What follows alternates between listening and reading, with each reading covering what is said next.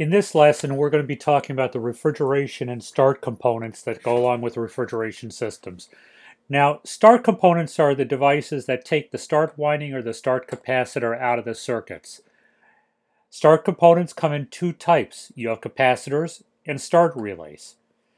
There's another term we have to talk about first because it comes into play here. It's called back EMF or back electromotive force or back voltage.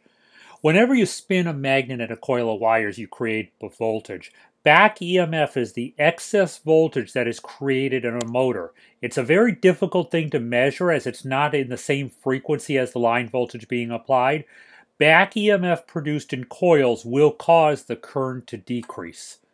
The purpose of a start relay is to remove the start circuit of a single phase compressor motor at 75% of the full motor's RPM. The sequence of operation on, all, on most start relays is the thermostat closes. The current goes way up as the motor starts. This is called locked rotor amps. The capacitor jolts the start winding as it discharges. The motor starts turning, creates back EMF, which creates resistance and lowers the amperage to full load amps. The back EMF, which is created, helps remove the start winding from the circuit. The start winding or start capacitor must be taken out electrically or it will burn out. Start windings are made of a thinner gauge wire than run windings and cannot handle the excessive current. The only purpose of a motor start winding is to get the rotor in the motor to start turning. We have four types of st start relays we need to learn about. First is the current relay. It's a coil, one of them is a coil type. Then I also have a current relay hot wire type. I have a current relay solid state type. And I have a voltage relay, which is the potential type. The current coil relay is a current sensitive relay that energizes on locked rotor amps, the LRA, of the motor. Locked rotor amps are much higher than the full motor load amps, FLA. The LRA is the amperage a motor draws when it is powered but not turning. The LRA is about six times higher than the full rating. This is an example of a current coil relay.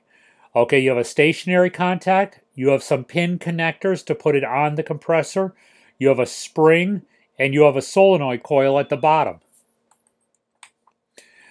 The FLA of, is the amperage of the motor when it's first operational and running at 100 percent of its rated RPM.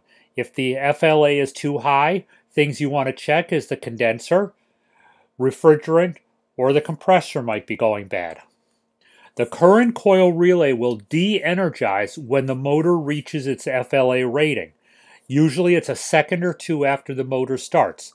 There are two configurations of the current coil relay. One's with a start capacitor and one's without a start capacitor. This is an example of a wiring diagram without a start capacitor. Now the box, the dotted line box you see on the slide is anything within the current coil relay. Your connectors without a start capacitor is L, R, and S. Okay, now R connects to a terminal called the M terminal. Okay, so on the relay itself, you will see L, M, and S. M basically stands for main. Okay, so line comes through the thermostat, con connects to the L terminal. The R winding connects to the M terminal. The S winding connects to the S terminal for line, main, or run, and start. Now, if we have a start capacitor, your current relay is a slightly has some different terminals. L connects to 2 and comes to the start capacitor, which is then connected to 1. M and S, okay, your run connects to M, your S connects to 3. So your start capacitor is going to connect to two terminals the 2, which is where line is, and the 1. That puts your start capacitor in series electrically with your start winding. You'll notice here, and we'll talk more about this, that the that this is the one load that goes in series with your run winding. This is the coil that controls this set of contacts. Okay, this coil is made of an extremely heavy gauge metal and does not have a voltage drop. It's strictly measuring current. Most types of these mount directly on the compressor motor terminals. The relay can only be mounted right side up because gravity matters because the contacts are not spring loaded. You have to look for the designation top on the relay to make sure you're mounting these in the right direction.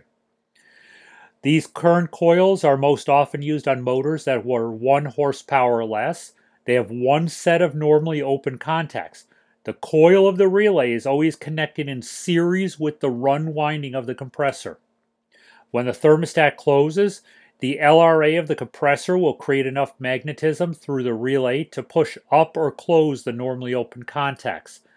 The coil resistance is close to zero ohms, which allows all the voltage to be applied to the compressor run winding even though there are two loads in series. As the motor starts to turn, back EMF starts building up in the motor windings. The generated back EMF drops the current draw down to FLA and the reduction in current de-energizes the relay coil. The motor will run on the run winding only. The best method for troubleshooting these motor, these coils is to use an ohm meter. With the relay right side up, the coil should read 0 ohms and the contact should read infinite. With the relay upside down, the coil should be 0 ohms and the contact should read 0 ohms. When finding a replacement part, use the model number and manufacturer of the compressor. The most common symptoms of a bad relay is a hum click sort of noise. The first time you hear it, you'll know it. The hum is the motor starting to turn or trying to turn. The click is the motor overload opening. Nothing will happen, and it will go through this on cycles. The next one that we're going to talk about, again, it's a current draw type relay. It's called the hot wire relay. It's an older design. You very seldom see them anymore, but you have to recognize when you see it. It's been replaced by the current coil or solid state type. It's used on fractional horsepower motors, which is motors less than 1 horsepower. Hot wire relay looks like this on a wiring diagram. Okay, it uses the L terminal, which comes into a bimetal um, contact. As the bimetal opens, in other words, heats up, it will pull itself away from the start winding on this contact right here in the center. And if it heats up too much, in other words, if it goes into an overload condition, it will pull itself away from the run winding. So the hot wire is both a start component and a motor overload. It contains two sets of normally closed contacts. It operates therm thermally by current flow that creates heat through a small wire. The heat will warp a bimetal contact, which opens it, and it breaks the path to the start winding. Because the second contact in there, the relay has its own overload protection. If the motor gets stuck in LRA, the second contact will heat up and open as well. This, this type of relay does not need a motor overload switch. Problems with it, if the relay starts going bad, replace it with a solid state relay. The solid state relay is another current relay as well. Solid state means non-mechanical device, no moving parts. The relay is also known as a thermistor type relay or PTC relay. A thermistor is a device that changes its resistance value as current passes through it. This is a thermistor diagram. Okay, it's a, basically a resistor with an arrow through it. PTC stands for positive temperature coefficient. The higher the temperature of the device, the less efficiently current can pass through the device. Solid state relays are used mostly on fractional under 1 horsepower motors. This is an example of a PTC relay. So, the characteristics of it is that the relay is made of a conductive ceramic disc. The ceramic disc is about the size of a dime and has a very low resistance when at room temperature, will be about 3 to 5 ohms. When the current passes through the disc, the resistance rapidly increases to a value of about 80,000 ohms. So again, solid state relay just goes between the R and the S terminal, 3 to 5 ohms at room temperature. It does require a motor overload. So the sequence of operation is the thermostat closes, the motor achieves LRA. The current heats the relay. At about 80 k ohms of resistance, the start winding is effectively removed from the circuit with all power flowing through the lower resistance of the run winding.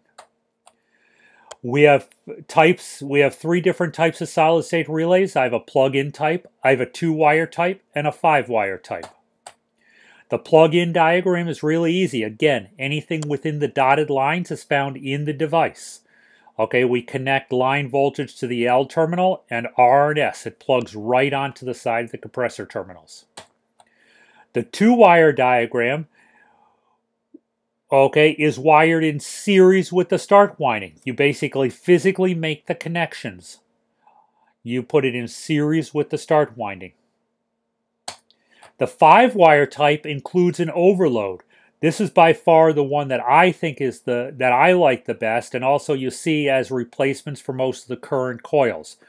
L comes into LL, S connects to S, R connects to R, C and N connect to your common and neutral. The overload is included. Sometimes you will see a capacitor put between S and the start winding. The 2 and 5 wire types are field replacement types. They can be used to replace the plug-in, the current coil, and the hot wire. Make sure you check the horsepower ratings before using a replacement. The best method for troubleshooting is an ohm meter. When at room temperature, look for 3 to 5 ohms of resistance. If the solid state relay is warm, look for a high resistance. So after the solid state relay, we move into the voltage sensing or the potential relays. The voltage sensing or potential relays use an electromagnetic type relay, just like uh, any relay we've already talked about. Potential relays always have a start capacitor. Most of the time, there will also be a run capacitor. Now, uh, this is what's found in a potential or along with a potential relay. Diagram A is your potential relay, B is your run capacitor, and C is your start capacitor. Potential relay schematic is actually relatively simple.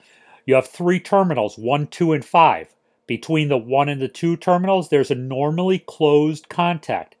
Between the 2 and the 5 terminals, you have your um, relay coil itself. The coil has a resistance of 6,000 to 12,000 ohms. Between 1 and 5, you should have a measurement between 6 and 12,000 ohms. Between 1 and 2, you should have a measurement of 0 ohms when the relay is not connected and in your hands. The coil voltage is generated by the back EMF across the start winding. It's used on compressor motors from half to 10 horsepower. So it uses it has a very wide range of of motor types. Potential relays and start capacitor provide a very high starting torque. Anything that needs power beyond this point requires a third phase compressor. So this is the final relay that we can use for anything that's not three phase that has a very high starting torque. The wiring, terminal 1 goes to the start capacitor. Terminal 2 connects to the start winding. Terminal 3 connects to the compressor common or the motor side, load side of the motor overall, overload. Sometimes the relay will come equipped with terminals 3, 4, and 6. These are dummy terminals used for junction points only. 1, 2, and 5 are the ones you have to be worried about. So a potential with only a start cap wires into the circuit by connecting the start cap to the line to terminal 1. Terminal 2 goes to the S terminal. Terminal 5 goes to the motor side of the overload. Do not connect this to the neutral side of the overload. Potential relays with a run and a start capacitor. Okay, you are going to connect the um, terminal 1 to, again, the start capacitor, which connects to line. Terminal 2 goes to both the start winding and the run capacitor that's connected to line and the run winding. Terminal 5 again goes to the common of the motor on the motor or load side of the overload. Potential relay with only a start cap and with a run cap. Two diagrams you want to know and be able to draw. To troubleshoot a potential relay, use your ohm meter. Test the contacts between 1 and 2. This should be 0 ohms. Test the contacts between 2 and 5. This should be a very high resistance. Complete the tests 1 to 5 should be a high resistance as the coil and the contacts are getting checked together. If you do not get these readings, you have a bad potential relay. Sometimes on very high microfarad capacitor, there's a bleed resistor across the terminal. This is designed to purge the voltage out of the capacitor. Do not trust the bleed resistor. Always bleed that capacitor yourself. If the start winding is open, the motor overload will trip. If the run winding is open, the motor will not start, but the overload will trip. A hard start kit is a combination of a capacitor and a start relay. Refrigeration hard start kits contain a solid state relay and do not have a microfarad rating. They cannot exceed half horsepower.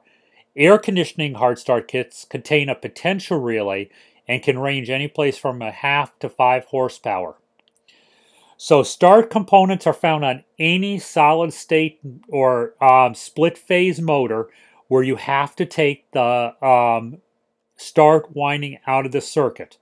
We started off by talking about the oldest type, which is the hard start or the uh, hot wire. We had talked about the current coil, which you see very frequently still being used. We went to the solid state and we talked about the potential relay. Potential relays are mainly used in heavy horsepower motors and air conditioning.